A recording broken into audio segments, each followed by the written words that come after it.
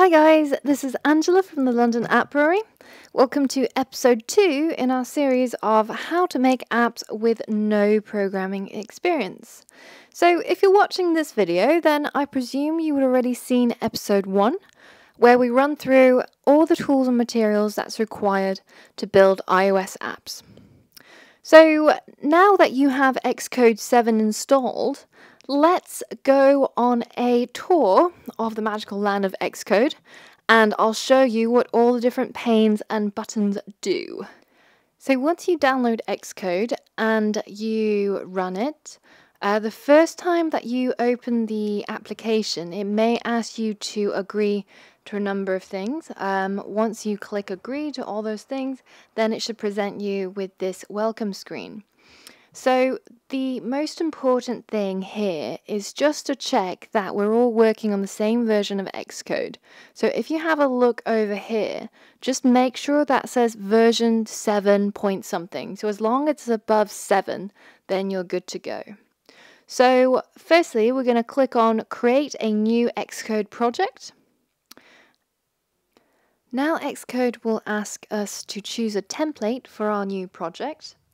And since that we want to build an iOS application, we're going to go under iOS and application tab and choose the single view application.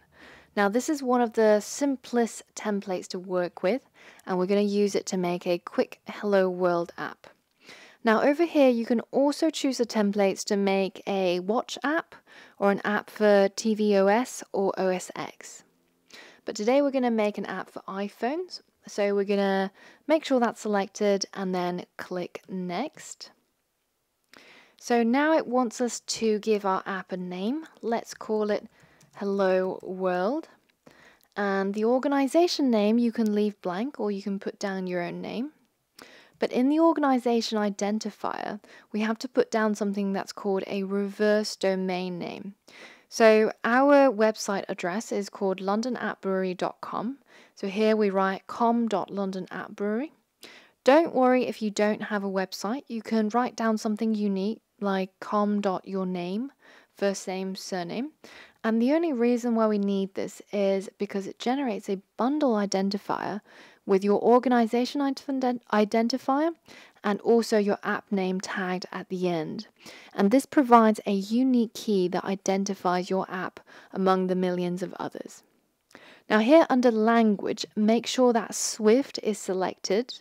Objective-C, as you all know, is the old language that was used to make iOS apps, and it is still supported to some extent, but in my opinion, Swift is so, so much more beginner friendly and that's the language that we're going to be working with um, in these tutorials. So make sure iPhone is selected and now click next. So Xcode will ask you where you would like to save your project and go ahead and choose a folder. I'm just going to leave it in my desktop. Right, so Xcode has generated a new template file for our Hello World project. And I'm going to run through what each of these panes do and what their names are. So don't worry if you don't remember what they're called. Um, in the description box below, I've included a link to a PDF file that I've made um, that tells you what each of the names are for the different panes so that if you do get lost um, in the coming videos when I refer to the navigation pane or when I refer to the outline pane, just have a look at that PDF and you'll know what I'm talking about. So when you look over here on the left, you will see a pretty bog standard file navigation system and for the most part you will be using it as the file navigator and you can see all the files that make up your app.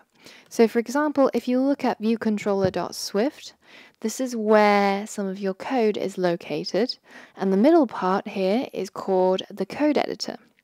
So it's called the code editor when you're looking at a code file, so viewcontroller.swift or appdelegate.swift, but when you're looking at a design file, um, such as main storyboard, and you can tell the difference between design file and a code file. The code files have a little red bird, and the design files are yellow. So here in your main storyboard is where most of your designs will go. Um, and once you open up main storyboard, you get a new pane pop up. And this is called the document outline. On here, you see an outline of all the things that are in your design file. So if we go to the bottom right corner, this section is called the object library. So when this square in a circle icon is selected, it's showing the object library and we can search for a button. So go ahead and just type button into that search bar. And when you found it, click and drag it into the top left corner of your app so as you can see, when you drag around um, interface elements such as buttons or labels in the design file, the blue guidelines will pop up to tell you when you're near the margins or when you're at the center. And you can use this to guide your designs.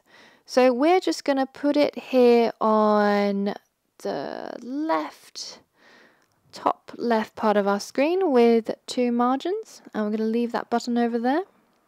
So instantly you can see in the document outline the button appears and it's nested within the view which is this large square. You can use this design file navigation to navigate through all of your interface elements. Once you've got a load of buttons and a load of labels, then it can get quite difficult uh, trying to select the right one in the design. But you can name them in here. Uh, so let's call this our Hello World button. And if you want to rename it, just click it wait two seconds, and then click it again to edit it. If you look at the right side of Xcode, this pane is called the outline pane. And when this little shield symbol is selected, it shows the attribute inspector within the outline pane. Inside this attribute inspector, you can change um, the properties for your button. Uh, so let's change its name to Hello World. And you can see here that it's in there, but it's truncated because the button is not big enough to, to contain all the text. So let's go ahead and drag it so that uh, we can increase its size and we can see all of the words. And then we can change the text color here under red or we can change the font size and make it a bit bigger. So you can go ahead and mess around with all these attributes until you're happy. And we are now ready to launch our first Hello World app. So if you go up to the top here where you've got this A and you've got your file Hello World, if you go over to the right and pick a iPhone from the simulator, so the iOS simulator comes prepackaged with the Xcode software and you can pick from any of these screen sizes. So we're going to choose iPhone 5 and then we're going to go ahead and click on this play button. Or you can use the shortcut which is Command and R. So hold down Command and press R to run your app. The first time that uh, Xcode launches the uh, simulator, it may take it a little while for it to load. Be patient, it will happen eventually. So here we can see our first app working, displaying the words that we wanted it to. That's how easy it is to build a Hello World app in Xcode. I know that Xcode has a lot of buttons, a lot of features, but don't worry for now because we are going to go into detail and explain all of them as we use them in the coming tutorials. And that's it. You've successfully made and launched your first Hello World app. And now we can look forward to the next episode where we're going to be teaching you some basic Swift uh, programming concepts in Xcode Playgrounds. And we're going to get our hands dirty and do some coding. So that's all from us at the London App Brewery. We'll look forward to seeing you next time.